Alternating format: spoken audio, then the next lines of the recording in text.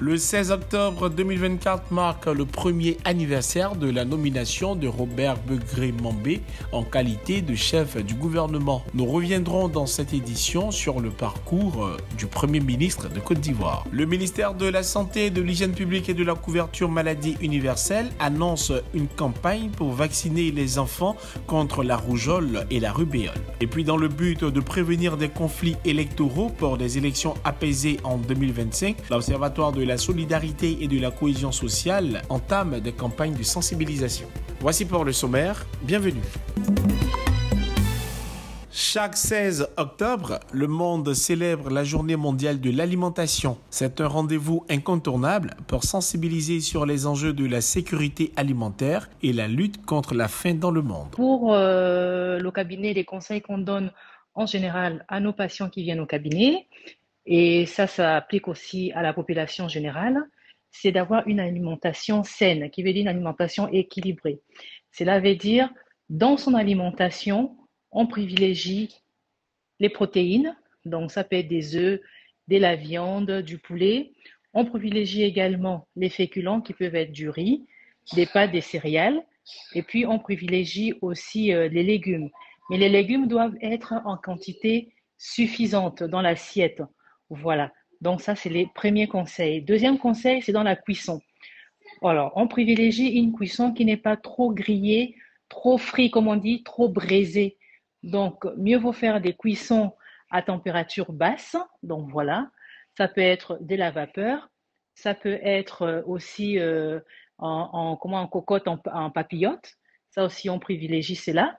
Et puis, de temps en temps, on peut manger du grillé. Mais on ne peut pas manger du grillé du lundi au dimanche. La FAO souligne que près de 828 millions de personnes souffrent encore de la faim dans le monde, une situation exacerbée par les conflits, le changement climatique et les effets persistants de la pandémie de Covid-19. Selon les autorités ivoiriennes, en Côte d'Ivoire, comme dans de nombreux pays africains, les enjeux de sécurité alimentaire sont primordiaux avec des initiatives locales et régionales visant à améliorer la production agricole et à lutter contre la malnutrition nutrition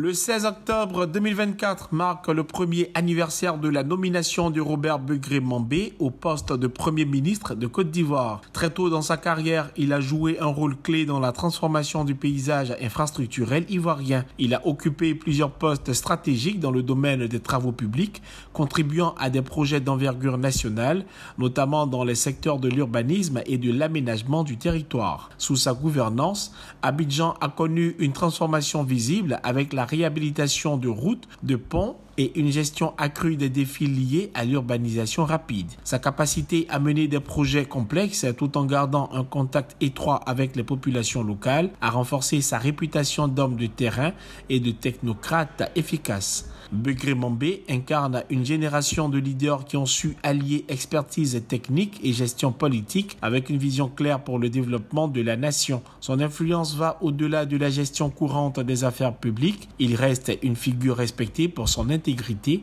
sa capacité à innover et son dévouement au service de son pays.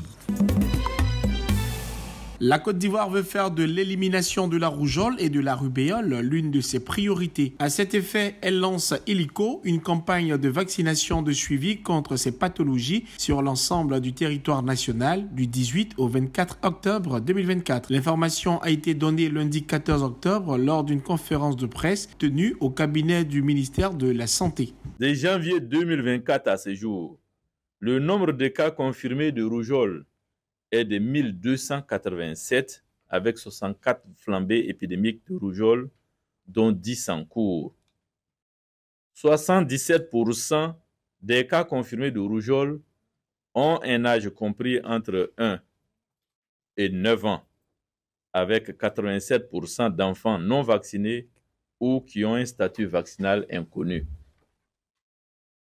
Cette situation justifie la pertinence de cette activité de vaccination supplémentaire comme moyen de communication.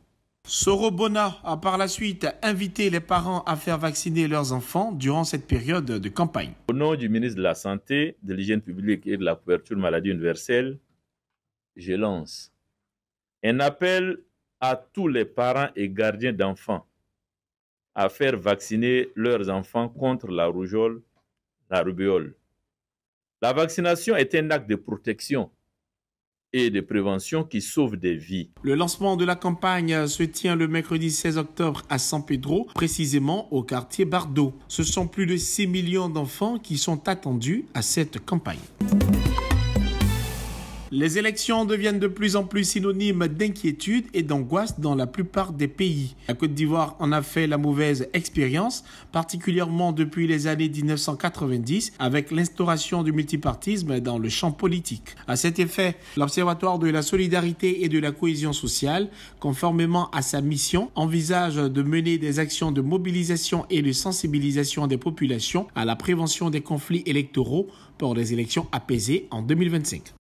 La campagne de sensibilisation que le ministère de la Cohésion nationale, de la solidarité et de la lutte contre la pauvreté à travers l'Observatoire de la solidarité et de la cohésion sociale s'engage à mener a pour but de sensibiliser et mobiliser les populations à l'adoption de comportements civiques, citoyens et démocratiques et à la prévention des conflits électoraux au cours du processus électoral pour renforcer la cohésion sociale.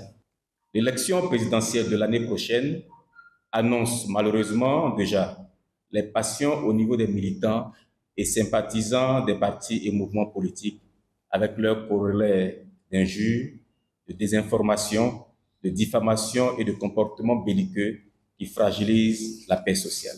Le ministère en charge de la cohésion nationale, par cette action, lance la bataille pour des élections sans violence pour exhorter tous les acteurs à s'y engager. Pour les acteurs de la société civile, le message est clair. Il est du devoir de tous de veiller à ce que ce moment démocratique se déroule dans un climat de paix, de respect et de responsabilité. Les élections sont l'occasion de faire entendre des voix et de participer activement à l'avenir d'un pays. C'est tout pour ce 7 minutes. Merci de l'avoir suivi. Restez sur cette info. Les programmes se poursuivent.